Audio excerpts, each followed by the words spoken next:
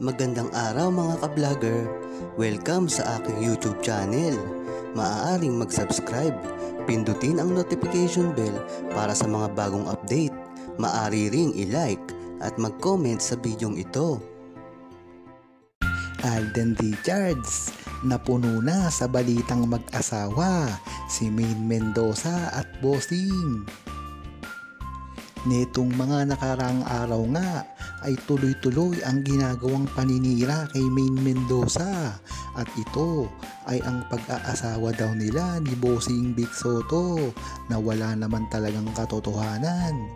Si Alden na mismo ang nagsabi ng patungkol sa kanilang tunay na relasyon kaya hindi maaaring mangyari ang sinasabi ng mga naninira kay Maine Mendoza at Alden Richards lalong lalo na ngayon na usapin ang mga relasyon at paghihiwalay ng iba't ibang mga tao sa industriya ng pag-aartista. Alam naman natin na si Alden Richards ay mapagtimpilang talaga. Ngunit ngayon, ay dapat ay ipaglaban niya na kung ano ang sa kanya dahil makukuha ito si Maine Mendoza ng mga ibang lalaki na mga umaaligid kung alam at nalaman na hindi naman ito pinagtatanggol ni Alden Richards. Kaya mas mabuti ay makailam na si Alden Richards sa mga pangyayaring ito nang sa gayon ay maituwid na nila ang mga pagkakamali at paninira na ginagawa sa kanila ng kanilang mga bashers.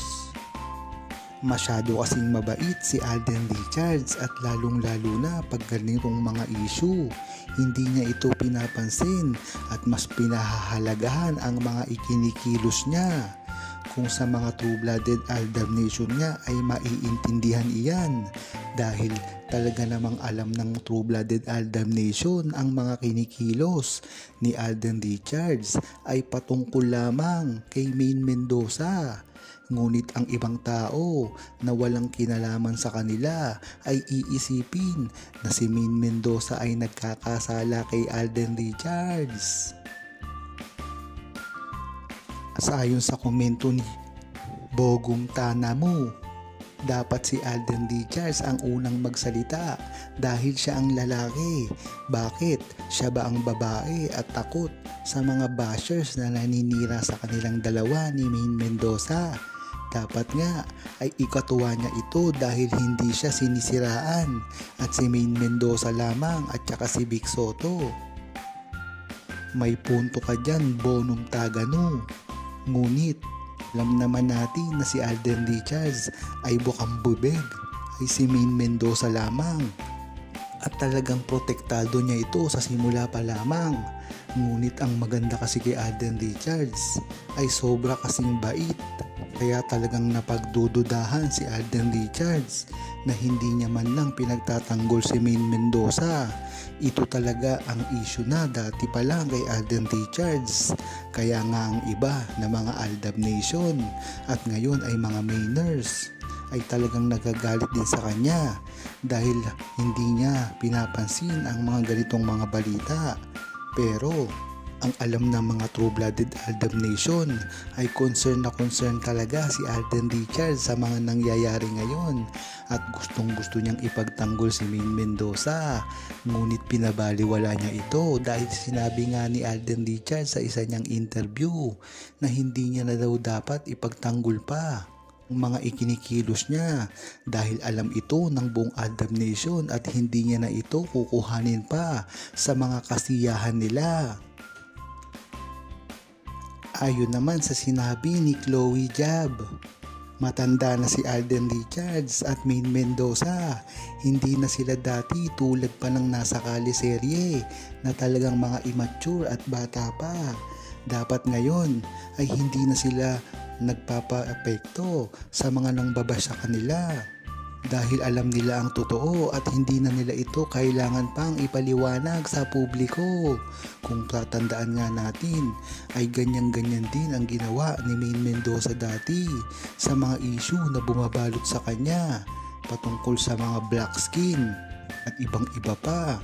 Talagang nagsasalita si Maine Mendoza dito ng tahasan. Kung matatandaan nyo ay ang pumutok ang issue sa online letter ni Maine Mendoza na nadadawit ni Uno Emilio. Talagang sinabi niya pa na magkaibigan lang daw sila dati. Ngunit bakit ngayon mas matindi pa ang ginagawang paninira kay Maine Mendoza at Alden Richards. Ngunit hindi sila nagsasalita dito. Yan talaga ang maturity na hinahanap ng buong Aldam Nation sa kanila na talagang alam kung ano talaga ang totoo sa kanila at hindi maniniwala sa mga sabi-sabi at mga fake news na ipinalalabas ng mga bashers. Ayon naman kay Toji Pushiguro. Malamang ay alam na rin ni Alden Richards yan ang mga balita patungkol kay Bossing Big Soto at Min Mendoza. Dahil syempre hanggang ngayon meron pa rin silang kontak niyan. Kung hindi naman sila kontak eh talagang ang relasyon ni Min Mendoza ay nasa level na nang hindi na ito kailangan pang masira.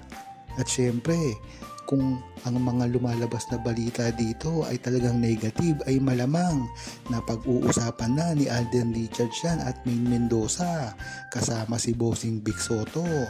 Kaya talagang kahit anong paninira nila na gawin kay Main Mendoza at Alden Richards, hindi ito magtagutagumpay dahil na rin sa tiwala ni Main Mendoza kay Alden Richards at ganoon na rin ang tiwala ni Alden Richards kay Main Mendoza. Ayon naman kay Landy Chamet, unang-unang pagkikita pa lang ni Main Mendoza sa Serye at ni Alden Richards, talagang naging patok na sila. Kung matatandaan mo, nung una pa lang ay talagang nagkatinginan na sila. Yan nga ang tinawag na unang pagkikita. Diyan pa lang makikita mo na hindi talaga sila magkilala at hindi ito pinaplano talagang na-develop na lang sila sa isa't isa at pagtapos nito ng mga ilang araw ay nag-networking like amahili na sila. Diyan palang malalaman mo na na nabubuo na unti-unti ang pagkakaibigan nila. At pagdating naman sa mga third and fourth at pagdating ng Wixari ay makikita mo na na tuloy-tuloy na. Ngunit ang matindi dito bakit nagiging close si Alden Richards at Main Mendoza nang sa gayon ay hindi pa sila nagkikita ng personal? May teorya ang buong True-Blooded Aldam Nation dito na talagang nagkita na sila ng personal. Dito nagsabi ng totoo si Main Mendoza nang nilalaman ng puso niya kay Alden Richards. Ngunit mas maganda na rin ito at mainam na itago nila ang totoo sa kanila nung kalyeserye pa lamang at yan malalaman na talagang kung gaano katatag ang relasyon nila dati ay hanggang ngayon ay nananandili pa rin. Hindi naman kasi talaga dapat na ipinipilit na aminin ni Main Mendoza at Alden Richards ang relasyon nila. Dahil ang mahalaga dito, ang buong Aldam Nation ay alam ang totoo sa kanila. At kahit kailanman ay hindi na ito mababali pa, lalong lalo na ngayon na si Alden Richards ay napakaraming trabaho at proyekto na dapat gampanan at si Main Mendoza naman ay ganun din. Kaya dapat ay hindi na nila pinapansin ang mga bashers lalong lalo na kung ito ay paninira lamang sa kanilang mga karira.